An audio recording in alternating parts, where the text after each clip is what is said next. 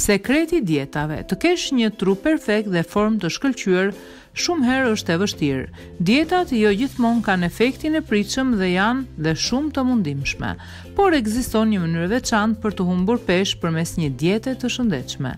Llogaritni kaloritë.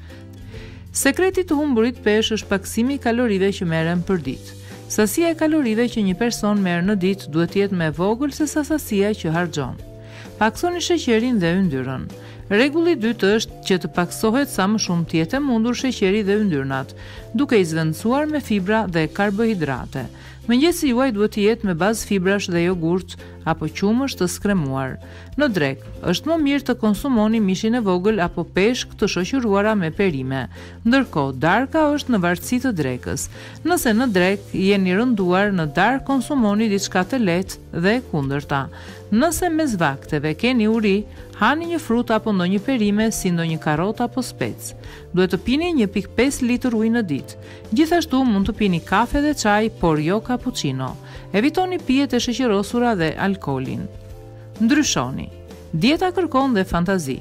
Nëse hani vetëm fruta dhe perime së shpejti kjo dietë do të dëmtojë organizmin tuaj, por edhe do të humbisni shijen për ushqimet. Këshilla më e mirë është të shijoni ushqimet të hani dhe të alternoni produktet që konsumoni. Djathi, mishi apo peshku nuk të shëndoshin, nëse nuk e teproni me to. Nëse preferoni shumë të hani brumra apo makarona, është më mirë t'i shoqëroni ato me perime dhe vaj ulliri. Është shumë e rëndësishme të dini si të kombinoni ushqimet që konsumoni. Kështu, nëse për pjatë të parë do të hani një sallatë, pjata e dytë të jetë me bazë mishi apo peshku. Apo nëse pjata e parë është me bazë brumrash apo makarona, atëherë e dyta duhet të jetë me bazë perimesh të ziera, në avull apo të pjekura. Kufizojeni veten vetëm me një gotë verë.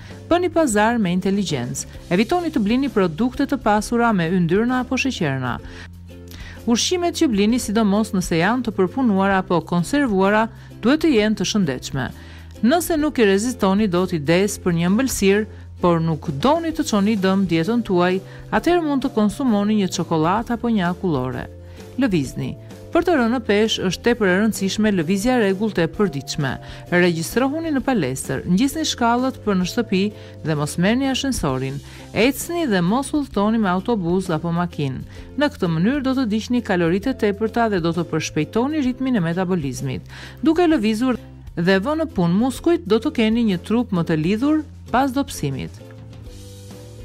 Kujdes, nëse pas ushtrimeve vëreni një rritje të peshës tuaj mos u shqetësoni. Ju thjesht po rrisni muskujt që peshojnë më shumë se yndyrnat, por kjo është një fazë e përkohshme. Vetëvlerësimi. Në një dietë vetëvlerësimi është shumë i rëndësishëm. Mos ndiqni modele të paarritshme, por mësoni të doni dhe të vlerësoni trupin tuaj. Nuk është e rëndësishme se çfarë pamje kanë të tjerët, gjë e vetme me vlerë është se ti je duke bërë dietën tënde dhe ke rezultate pozitive. Duhet të keni durim. Asnjëherë mos prisni të ndryshoni pamjen tuaj dhe të humbisni peshë brenda pak ditësh. Duke ngrënë në mënyrë të ekuilibruar dhe duke u marrë rregullisht me aktivitet fizik, rezultatet e para do të vijnë pas tre-katër javësh. Mund t'ju duket shumë kohë, Por mos u mërzisni. Durimi është shumë i rëndësishëm në një dietë dhe në humbjen e kileve.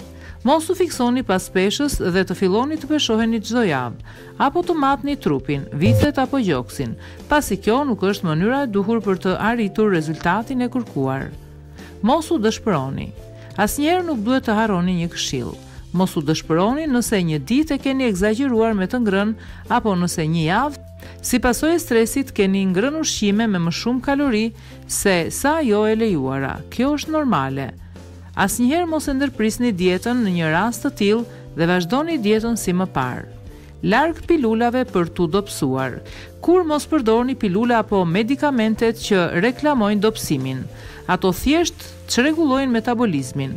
dhe për rrjedhojë dhe organizmin dhe shëndetin tuaj. Si pasojë do t'ju duhet më shumë kohë për të rigjeneruar trupin tuaj dhe shumë herë edhe duke shtuar në peshë. Stili i jetesës Pasi të keni arritur peshën që dëshironi, të humbisni kile dhe të keni një trup të bukur, mos e lëshoni veten në ushqime pa fund.